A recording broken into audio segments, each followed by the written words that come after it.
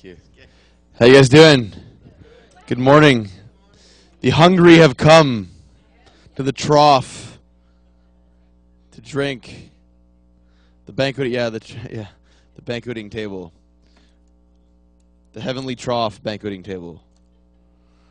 Well, looking forward to this morning. We have two sessions kind of back to back. I want to encourage you take notes. This is not really a conference style of event. Um, so, and my, in my desire, I believe God's desire is to plug you into some truth that uh, changes some things in your life, and really changing your mindset, changing your your vantage point, your paradigm, how you see, how you think, how you view God, how how God or how you position yourself in God in this season specifically is very important. And um, so I want to give you some keys. I really encourage you to take notes. If you don't take notes, you're not going to remember half of what I say. You don't won't even remember 95% of what I say. So I encourage you to take notes on your iPad, iPhone, BlackBerry, Blueberry, whatever you have.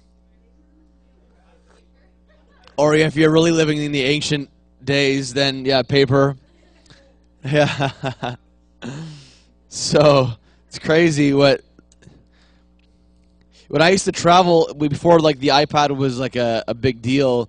I mean, I'd have like stacks and stacks of paper, and when this thing came out, I said, "God, I want one of those." Actually, Sammy had one first, and a friend of mine, Jeremy Nelson, had one, and they're like, "You should get one." I'm like, "No, I don't need one. I have papers, and I always use these papers." And uh, so I said one day, fine, you know what? This could be really good for me. So I sowed money into an offering. And almost as a joke, I said to God, I'm going to sow believing for an iPad. I was kind of serious, kind of joking to the Lord. But God hears our jokes, He hears our prayers, He hears our thoughts. You can't hide anything from God, right? You know that, right? So I sow in this offering, believing God for an iPad. And about, about a month later, I'm at a meeting and this guy who I barely even know walks into walks up to me in the, the meeting and said, God told me to buy this for you. Here's a brand new iPad. So I was so thankful to the Lord, and so I now I use this amazing iPad. But then two years later, I'm in another meeting, like I said last night, if you were here last night, and God says to me, sow the iPad into the offering. So I sowed that iPad in the offering, and this whole thing broke out. I told you last night if you were here the boat, the gold, the silver, the Harley Davidson, the motorcycles, the cars that were sowed into the offering. And uh, powerful experience of generosity that broke out in our church. And, um, and then about three weeks later, to about a month, not even, maybe even, yeah, three weeks, somebody walked up to me in a meeting and said, God told us to give this to you. Here's a brand new iPad 4. So I was like, thank God for the upgrade. See what happens when you're faithful though, when you when you do what God wants you to do, you reap the rewards that God's promised to you and for you. But so much so much of us or so many of us don't access or reap the rewards that God's promised us because we don't listen to God. We don't we don't listen to God. I was in a meeting one time and God said uh, said to me, um, uh, "I want you to sow this amount into the offering. It made no sense. It was totally outside of our grid. We were in great need, and, and we did it.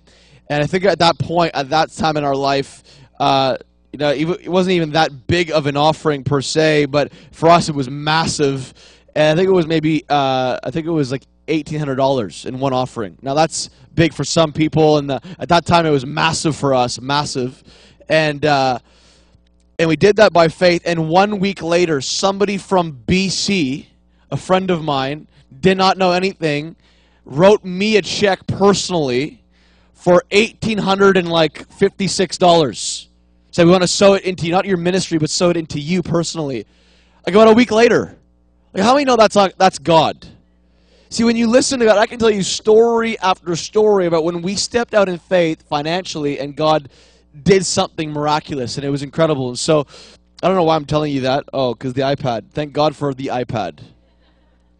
So now I have this amazing iPad. My iPad's better than Sammy's iPad. I have the iPad 4. Oh, does he? Someone gave him an iPad, didn't he? Didn't they? Oh, I heard that. Okay, I heard that. I did hear that. Okay. Oh, that's amazing. Yeah, I think I heard that story actually. That's amazing. Um, well, this morning I want to talk about the golden secret. Everyone say the golden secret. The golden secret. And I'm going to give you I'm going to give you the golden secret today. Helping you understand what really honors God because this is absolutely important. I have a whole teaching, four discs, I think it is back there, called Experiencing Divine Order. It's all about alignment, coming into alignment, coming into divine alignment. I have some really strong prophetic messages on there, one of which came out of two really powerful encounters that I had. It's called the Yada of God, I think. I forget what it's called, but it's experiencing divine order and understanding what we need to allow into our life to bring us into order, bring our life into order. Where there's not where there's no order, there's no health. Order brings health. And when you're healthy, you're mature. Order always brings health. You know that we're in the season, we just this month went into the the Hebrew New Year, 5774. You know, and in in the, the Hebrew culture, every decade has a theme.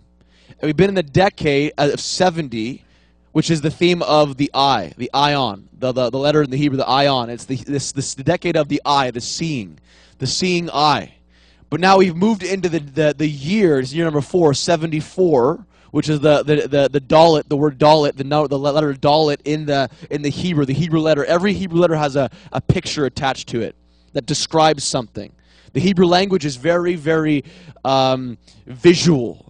You know, it's always the Hebrew language is always painting a picture, which is why Jesus spoke in parables. He was always painting pictures for his people, for disciple, for his disciples, and for those that the masses that were listening to his teaching. He was always painting a picture. And the Hebrew language is like that. It paints a picture. And, and this is the year of the door. Number four, uh, prophetically, and the, the letter, the dalet, is the year of the door, the new, the new door, the open door, leaving the old door of confusion and disorder and coming into a new door of opportunity, health, and order. And so we are in a good season. I mean, on the Hebrew calendar, 5774, we're in a good season as a body of Christ. And when we move from confusion and disorder, we move from that place to move into a place of healthy order and maturity. And we need to understand what season we're in so we can move into the next season with strength. But I want to turn your attention to Psalm 16, verse 8. Psalm 16, verse 8. I want to read this to you. And years ago, I had a dream, and I woke up in my, and often my dream life is very active. My dream life is very active, but also my, I don't even call it dreaming. Josh experienced it last night. or I, I actually will get up and you don't you don't know if I'm awake or if I'm asleep. My eyes will be completely open and I'll be looking at you and I'll be prophesying or saying something. Happens to my wife all the time. Like I woke up one time and I, I don't remember this obviously, and my wife tells me the next morning. I woke up one time and I was telling her every vitamin she was missing in her body. And why why there was deficiency, and I was telling her this vitamin's missing, this vitamin's missing. I have this incredible, incredible dreams and experiences. And she doesn't always know, but she's learned while I'm in this state to converse with me.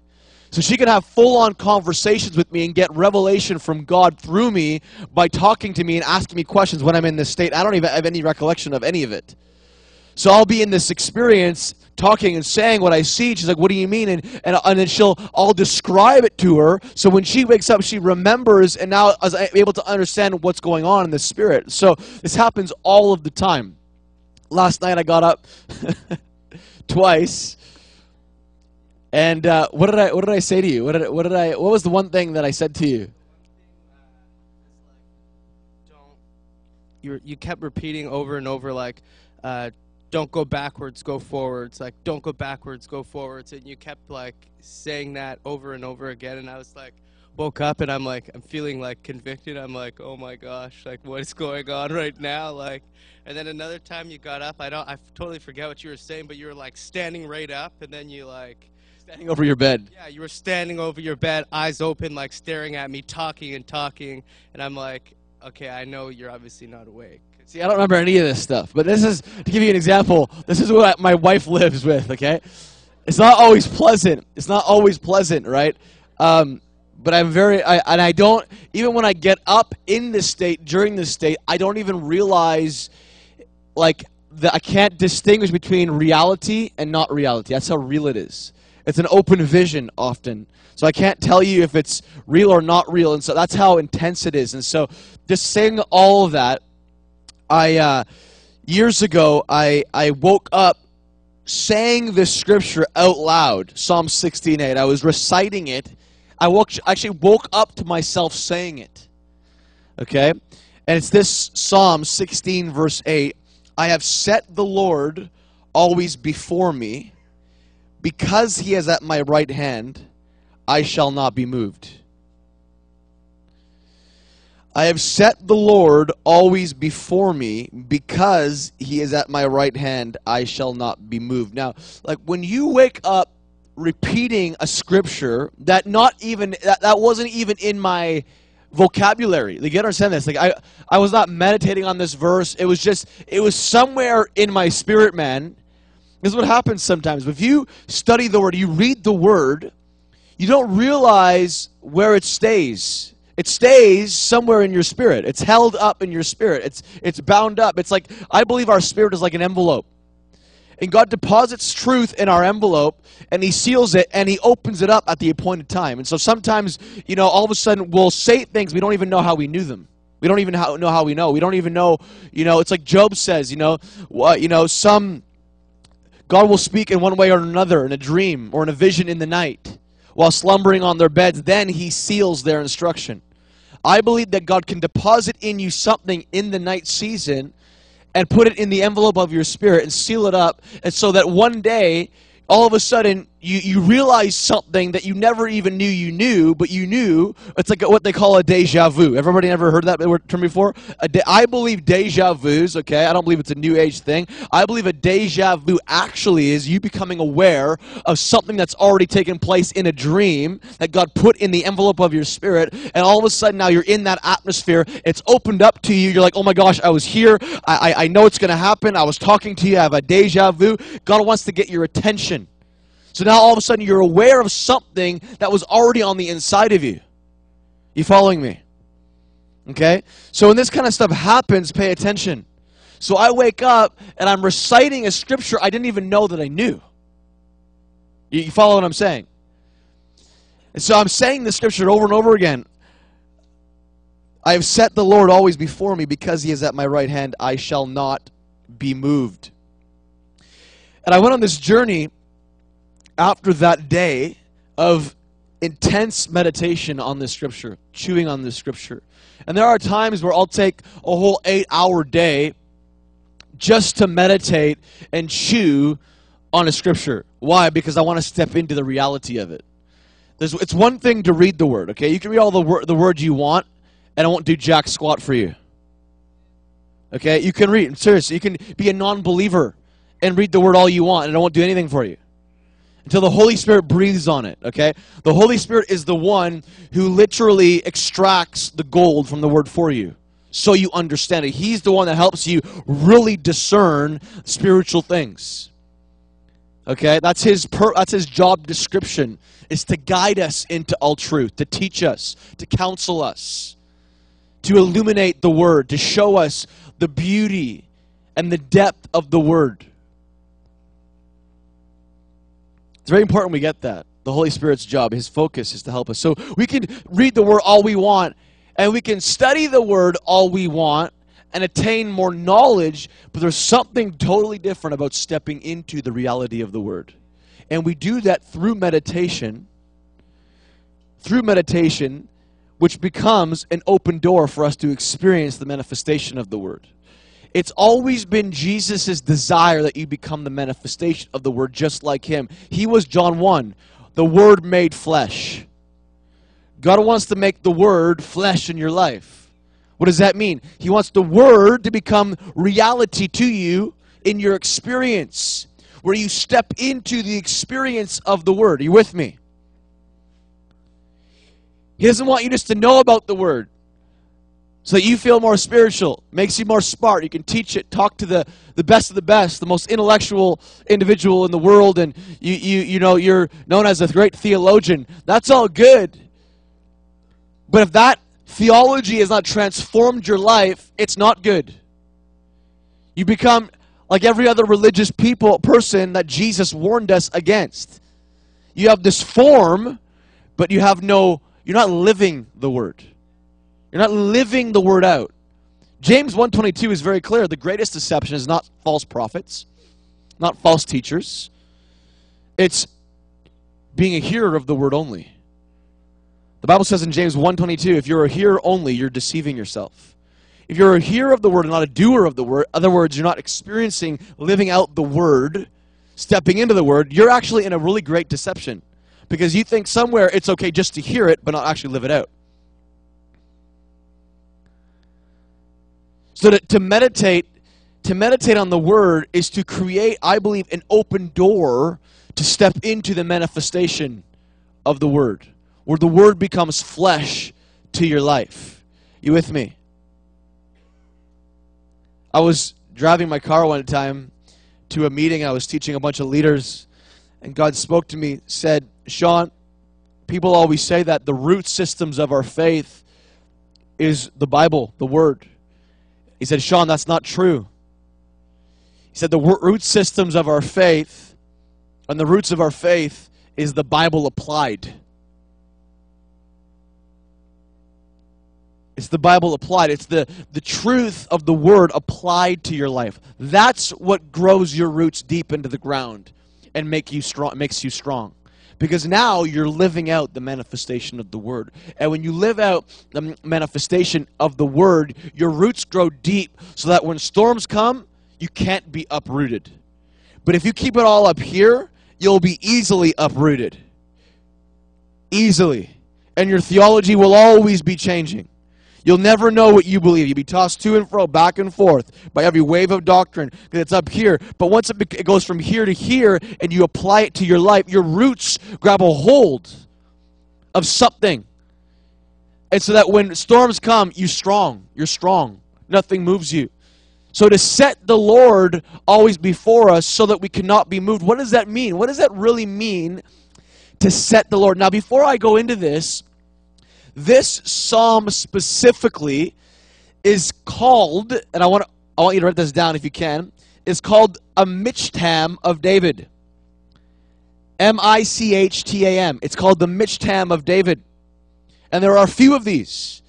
And this word in the Hebrew comes from the word katam. Everyone say katam. And it means to be stained. Something that's engraved or to cut into. That's what it means to be stained, or it means to cut into or engrave. And what this means is that what is about to be spoken. So this psalm is in- introduced as a Michtam of David. And what that means is that what's about to be spoken is worthy of being engraved into our very minds.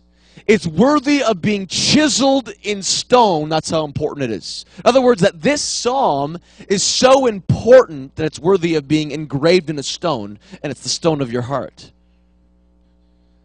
There's something that is more important about this psalm than other psalms. Some theologians call this psalm the golden psalm. That's why I call it the golden secret. They call it the golden psalm. There's something gold about this psalm that we need to look at. You with me?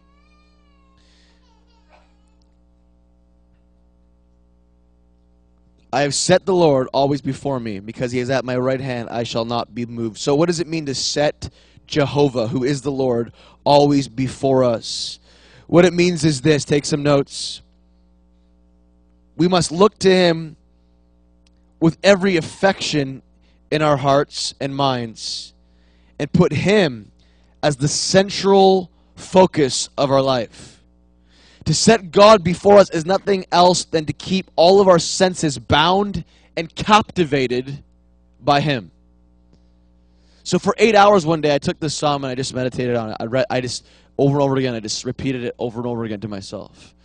And I all of a sudden, I begin to see myself taking my finances, taking my family, taking my our ministry, taking everything that we do in life, everything, our stuff, our household, our vehicles, our, our everything, and just saying, God, I, I put that all before you.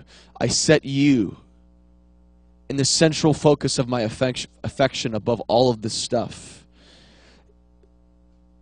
Every issue, every challenge that we're facing, I take it and I put it to I put it in front of you. That's what it looks like to set him before us. To put him as our focus. It means to continually, constantly depend upon the assistance of God. A constantly, constantly depending. It means to intently fix our focus upon the providence of God. To be fully persuaded that even when any difficulty or distress would come before us or come against us, we would trust that He will take care of us. That's what it means to set Him before us. It means to make him first. Psalm 16, 1 to 2, the first part of this chapter, says this Preserve, preserve me, O God, for in you I put my trust. He's kind of preparing us to truly understand what it looks like to set Him before us. Because the result of setting Him before us in every area of life is that we will be solid, we will be stable, we will be cemented in and unmovable. But the first part of this verse or chapter gives us some keys. Preserve me, O God, for in you I put my trust. O my soul, you have said to the Lord, You are my Lord. My goodness is nothing apart from you to set him before us is to realize that our works are of nothing. Our works are really of no avail for us to be approved of God or to really set us on the right track. It's acknowledging that in Him is all goodness, in Him is everything good. Psalm 16, verse 5 to 6 says, O Lord, you are my portion of my inheritance and my cup. You have maintained my lot. The lions have fallen to me in pleasant places. Yes, I have a good inheritance. To understand that He is everything, He is our inheritance. To understand that truth is to set Him before us in every area of our life. So that when your money is lost, stock market crashes, bad things happen to your material possessions, your car breaks down, you realize that your inheritance and your trust in Him, not only as Jehovah Jireh, the provider, but El Shaddai, the God of more than enough, that your trust in that truth, that reality, stands strong in the face of when everything crashes around you. That's what it looks like to put Him and set Him before us in every area. Let's read out of Philippians 3, verse 8 and 9. Philippians 3, verse 8 and 9 says this Yes, everything else is worthless when compared with the infinite value of knowing Christ Jesus my Lord. For his sake, I have discarded everything else, counting it all as garbage, so that I could gain Christ and become one with him. I no longer count on my own righteousness through obeying the law. Rather, I become righteous through faith in Christ. For God's ways of making us right with himself depends on faith. To truly regard everything else as worthless in comparison to what I gain in Christ is to set Him always before us, to set Him at our right hand. Because we are at His right hand, we will not be moved. You with me?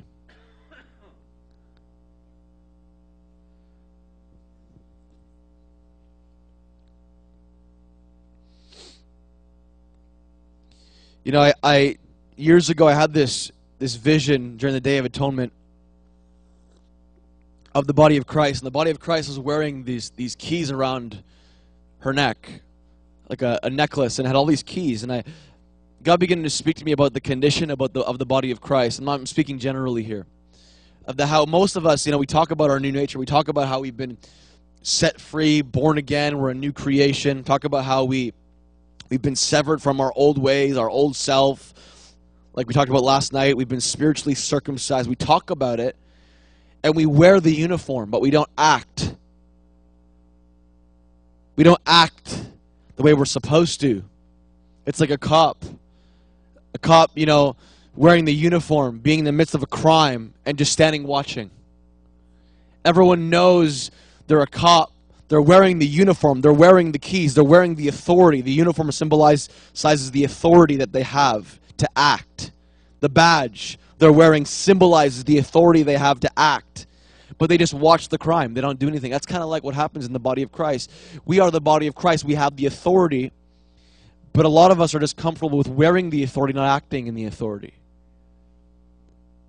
So, how do we actually act in the authority? Well, every day we have to be conscious of putting on our new nature. And it's a mindset.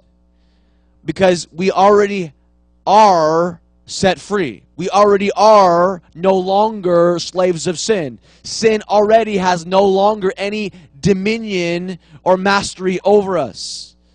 So every day we have to renew our minds into that truth and put on our nature by faith and say, Jesus, today I am a new man. Reminding ourselves that we are a new creation. We have the mind of Christ. Colossians 3, verse 9 to 10. Don't lie to each other, for you have stripped off your old sinful nature and all its wicked, wicked deeds. Put on your new nature and be renewed as you learn to know your Creator and become like Him. Every day, we're learning to know who He is, what He's like, and every day we're being conformed more into the image and likeness of the Son in our actions. You can be righteous and not act righteously. That's just the reality of the gospel. I mean, He's made you righteous. But it's in the knowledge and revelation of that righteousness that we act righteously. So people say, oh, you can't preach grace. Well, that's just stupid.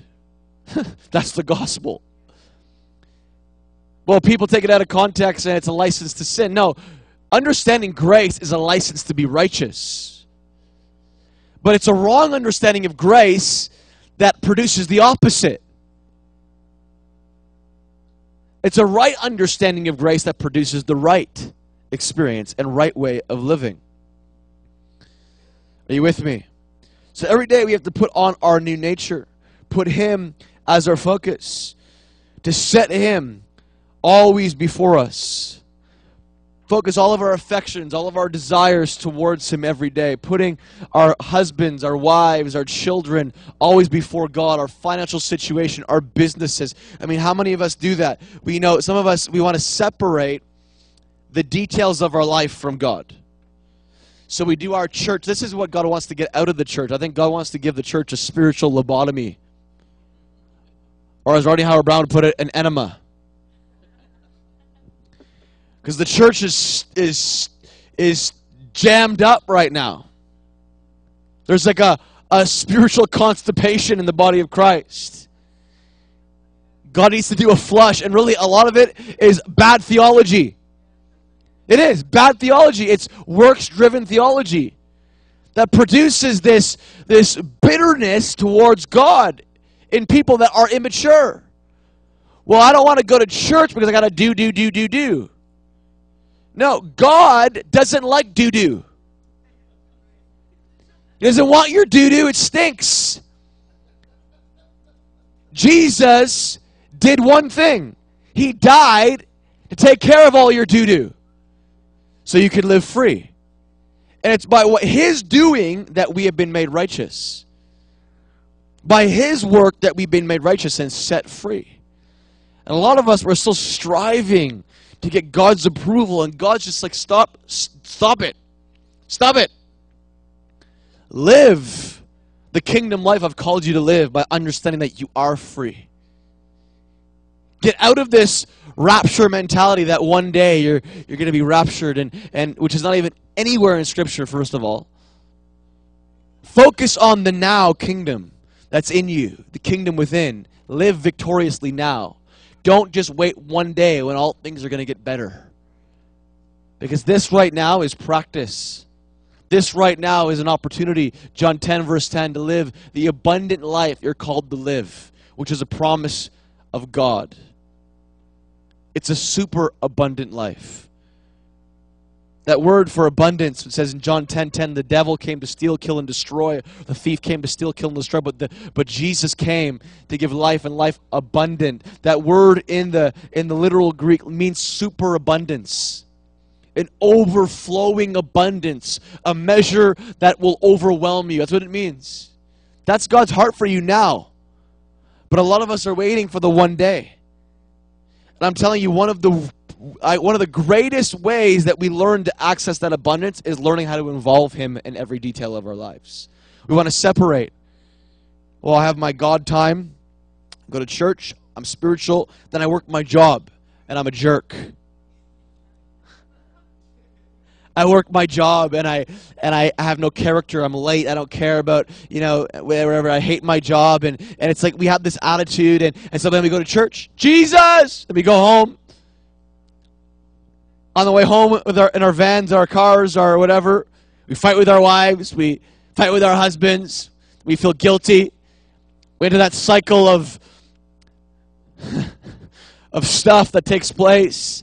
Go back to church. It's like Jesus. And it's like we don't have really much conversation with God during the week. You know, my, my wife's amazing, and my wife involves God in every decision, her shopping experiences.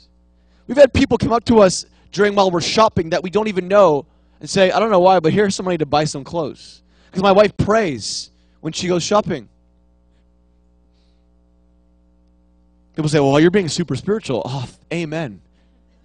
I love being super spiritual. I'd rather be super spiritual than depressed and unsuper spiritual. I'd rather be over spiritual than under spiritual. Sorry another err on that side of the coin and get more wins than err on the other side and be depressed, boring, bored, and dull and religious. And to say God's only a God of the Sunday morning. My wife prays for parking spaces. We, we pray for favor in every area and we involve God in the details of our life. You know why? Because He delights in the details. God is a really detailed individual. Look at the design of the temple, the Old Covenant temple. I mean, there. I mean, God had His hand on everything. He was a control freak. He was a he was a um, he was a micromanager. I mean, he he was managing every detail. It's like I want this to be purple. I want this to be blue. I want it to look this way. I want it to be this long. I want to have the cherubim on this side, the cherubim on this side, gold this, gold that. I mean, he was very detailed. When God gave the blueprint to to David, and then Solomon built the temple, I mean, you know that Solomon, st- you know how much it was worth? We, we want to get out of this poverty mentality in Canada. You know how much, there's been studies that have been done. You know how much Solomon's church would have been worth today in today's con- economy? How much Solomon's temple that God designed, that God wanted, okay? Remember this God wanted it this way. You know how much it would have been worth in today's culture? Guess what? $54 billion.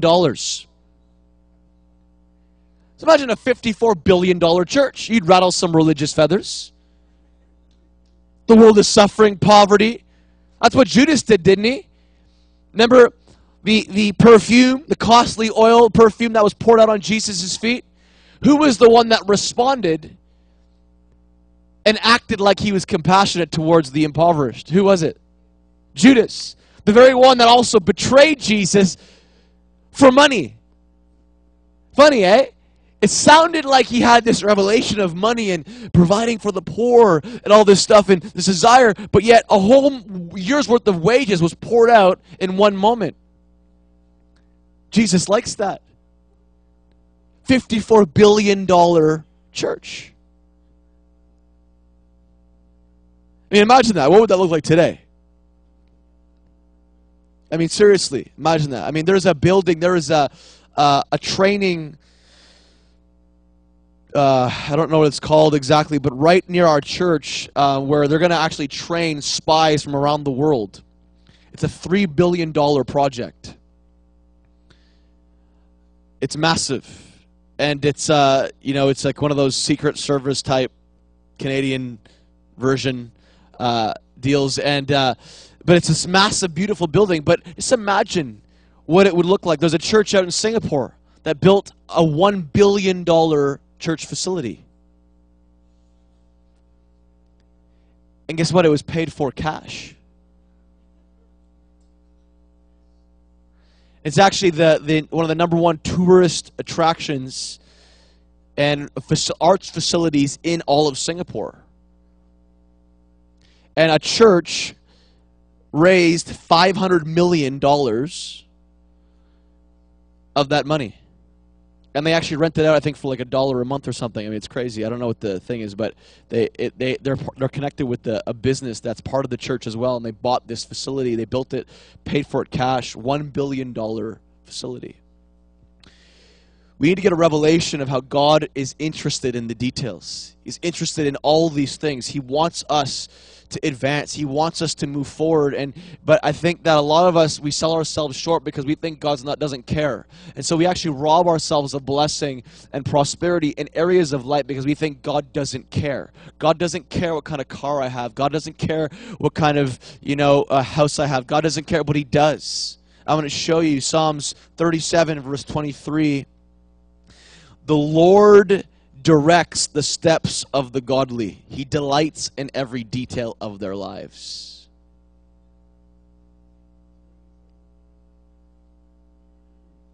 The steps of the godly aren't just when you come on Sunday morning and only when you make big, big decisions. The steps of the godly, it's everyday steps.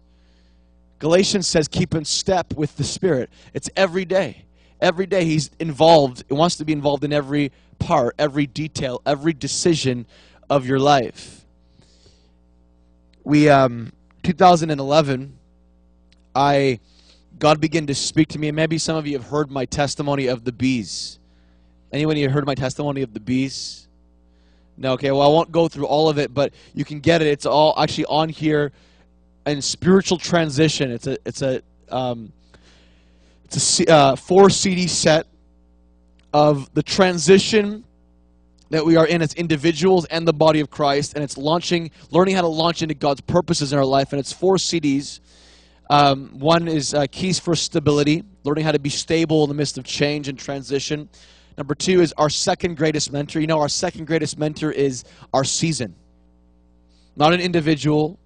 It's the season that God's put us in the season that we're in mentors us, it trains us, it challenges us, it grows us. Number three is his spiritual design for your life, his design for your life, how he wants to move with you, through you, in you. And number four is a new season, a new era, which I talk about um, the bees on and my encounter with the honeybees. And in, two, in May of 2011, I want to give this. Who wants this? I want to give this to somebody who's in like a transition old time right now of change. You are? Okay, I'll give it to you. The, the pastors are saying you are, so here, I'll walk over and give it to you. Yeah, bless you. It's 2011, though, I had this, this word, powerful word from God, and, and I didn't even know what it meant. And I was in a prayer meeting, and I had this open vision of this giant honeybee. And God said to me, You're about to enter the season of the bees, and you're going to see signs to confirm this. I was like, What's the season of the bee, you know? And uh, I can't share everything right now. But I uh, told my wife I didn't say anything in the meeting. I said, Michelle, we're about to enter the season of the bee. I don't know what this means, but we're going to see signs. You watch. We're going to see signs of of this that's going to follow us in this next season. And uh, and about a week later, I was at a wedding, and one of my, one of my board members is a bug scientist. It's funny, like who's a bug scientist? I don't know any bugs. He's on my board, a bug scientist, and uh, he's actually he's like a really well known, like internationally known bug scientist. Like re- received in all these different awards, and um, and he told, and I asked him, I said? I said, I don't know, this is weird, but God told me we're entering the season of the bees. I said, what's with this bee? Is there anything prophetic that you know? Because you're a bug scientist, you study bugs. He said, actually, you know, all around the world right now, bees are going missing. Whole bee farms are shutting down, and this is when it started to get become really a big deal. And and uh, you know, uh, it's a, it's a it's an epidemic, really And I was like, interesting. I didn't really look into it anymore. And the end of May, I was, uh, before I went into prayer, I received an email from this bug scientist, and he sent me an email saying, Shawn, I was at one of these, uh, you know, uh, these expos with a bunch of bug scientists. We were all discussing how there's been a rapid increase all of a sudden of bees again in this last season. And um, I began to think about that. I'm like, interesting. And I hadn't seen any bees that year. I went out on my porch after that email and I started praying, God, give me this understanding. What's this whole thing about the bee? And all of a sudden, this bee comes around my head, starts flying around my head. Now you're like, okay, what the heck? It's a coincidence. No, there's no coincidences in, in God. And there's no coincidences in the king, in kingdom life, just so you know. God orders every step. He delights in, he delights in every detail of your life. He, he, he actually situates and designs every element of your life.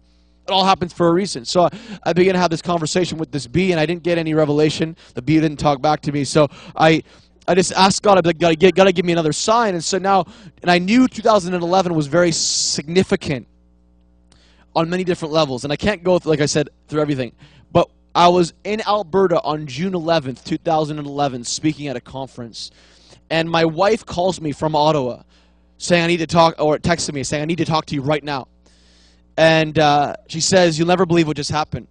So the cops just showed up at our doorstep and said, Ma'am, you have over 2,000 honeybees on your lawn in a giant ball. Be, be aware, be careful, don't go near it. It wasn't a beehive, it was a ball of bees. And uh, I was like, You're kidding me. I'm like, Oh my gosh. Now it went to a whole new level.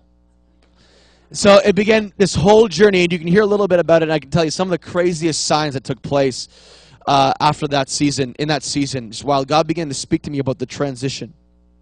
It was all about new leadership. It was all about transition and new leadership, and the this thing that God was doing in the body. Because what happened was, I did a study on it, and and when a beehive gets too full, a colony gets too full, they appoint a new leader, and they tra- a portion of the beehive transitions out of the colony with the new leader to a transitional location for a few days as they send out scouts to find their new building, their new beehive. And so they happened to stop on my property uh, in that transition time, and God began to speak to me about the transition in the body of Christ, the whole thing. Anyways, so God made the bee a sign for me in that season.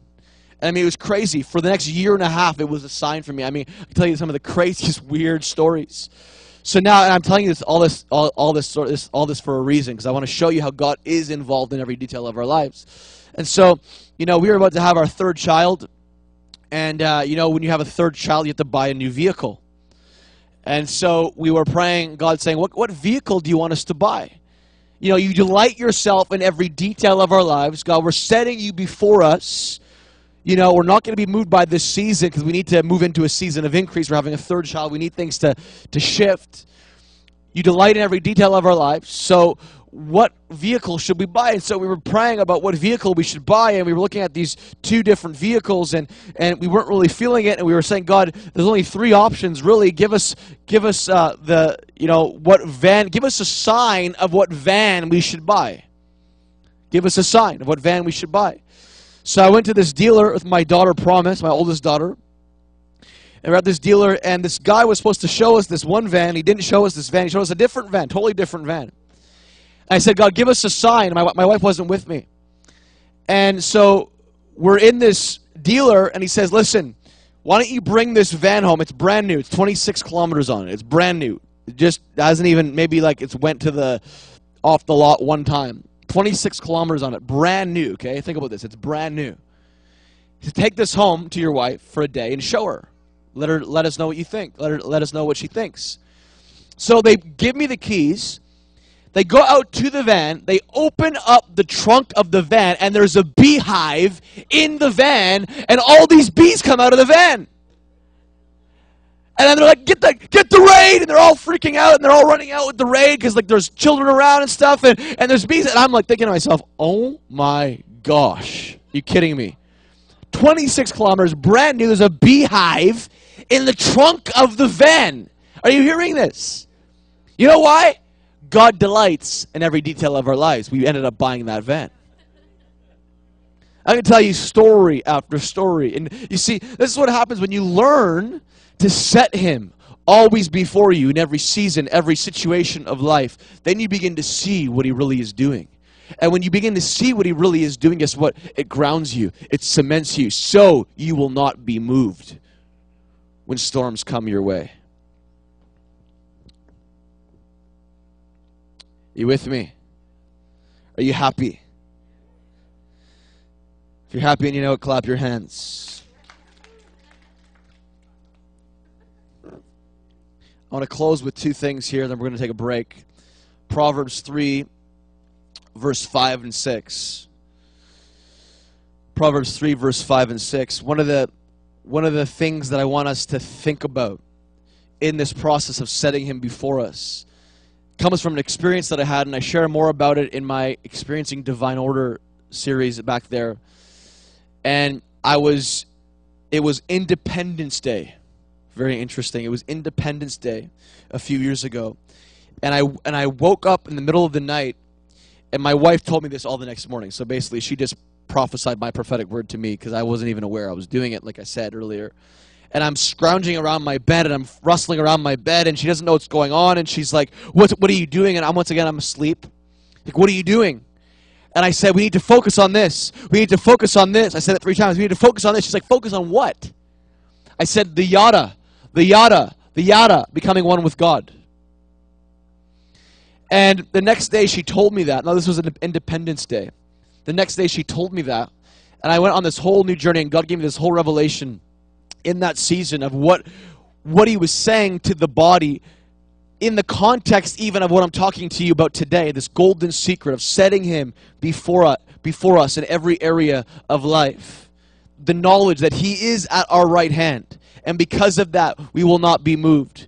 That word yada is a Hebrew word, okay? Found in many different scriptures. Genesis 4, verse 1, speaking of how it says Adam knew his wife Eve and bore a son named Cain. That word for new, speaking of specifically in that context, sexual intimacy, produced fruit, produced Cain. That word for new is the yada in the Hebrew. It's something that is experienced to produce fruitfulness. Okay? In many other scriptures, it also means to experience something by sight, to visibly experience an element of God, a component of God's nature. Proverbs 3, verse 5 to 6 says this Trust in the Lord with all your heart and lean not on your own understanding. In all of your ways, acknowledge him. The word for acknowledge is yada him in all of your ways, set him before you as your central focus so you can experience him by sight, not just knowledge, but experience him by sight. And if you learn to uh, put him as the central focus of your experience in all of the journeys and ways of your life, you'll always walk straight. That's what it means. And God was saying to us, focus on this. Focus on setting him before you. Focus on experiencing Him in intimate relationship. Focus on putting Him as priority and focus in our lives. We need to focus on the yada. In all of our ways, in all of our journeys of life, we acknowledge, we yada Him. Are you following me? So we set God before us by positioning ourselves to experience Him in every journey of life. How do we experience Him? By learning how to see what He's doing. We got to learn how to see what He's doing in every season of life. God is doing something specifically incredible, specific in your in this season right now in your life. Something incredible. But if you don't see it, you'll forfeit your season, and you'll end up walking around in circles like the Israelites did for 40 years. If you don't learn to see what he's doing in your life. Psalms 23, verse 1, we know the scripture says, The Lord is my what? Shepherd. I shall not lack or want. The Lord is Jehovah. He is the one who I set before me in every component of my life. The Lord is Jehovah. He's Jehovah Rohi. He's my shepherd. What does it mean to be Lord and what does it mean to be shepherd? The Lord speaks of his deity. The Lord speaks of his divinity. And the shepherd speaks of his humanity, his connection to humanity. Because you see, David was a shepherd. David grew and matured as a son of God, as a shepherd boy, playing his, his instrument, worshiping God with all the sheep.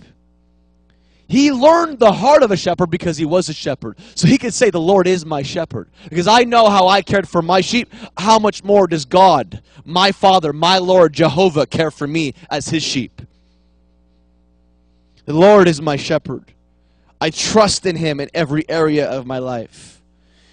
The shepherd took care of every element of the sheep because the sheep are the dumbest animals on the face of the planet. And yet we're equated we're, we're related to sheep in the Bible. What, what it's really all about is just it's saying, you know what? We have to 100% rely on God, who is our shepherd for everything. For everything. So the Lord is my shepherd. I can rely on him for everything. That revelation right there, in that revelation, we then set the Lord always before us. Trusting that he is our source, our substance for life. And because of that, we shall not lack.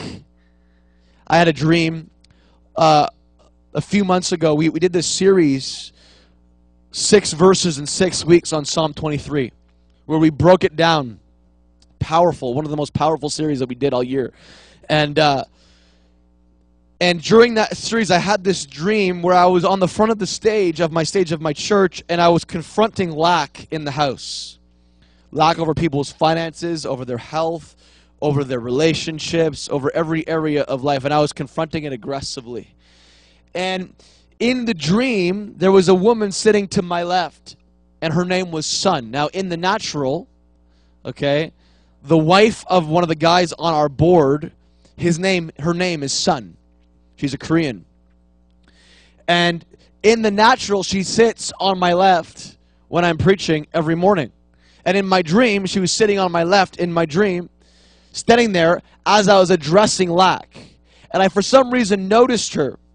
And I was noticing her. Now, the left, scripturally, I'm giving you a little bit of a dream interpretation 101 right now. If you want to learn more about dream interpretation, get my 201 school. I have a whole lesson on learning your dream language, understanding and interpreting your dreams. I have a whole interpretation guide for you. That's in the 201 course that I have on the table there. It's a six, a six week or a six session course.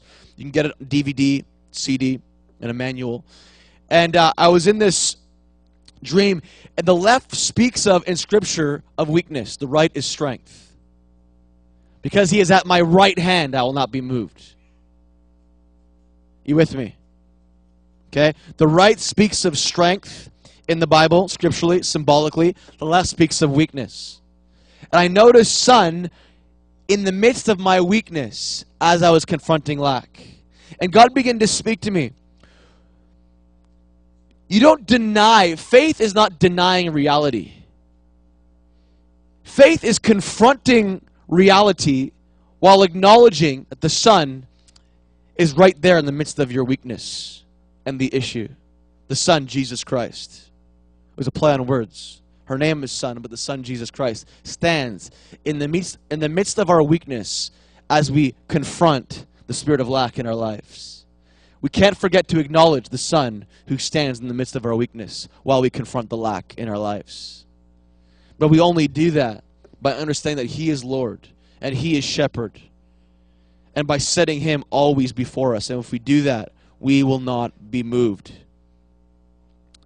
Is that okay?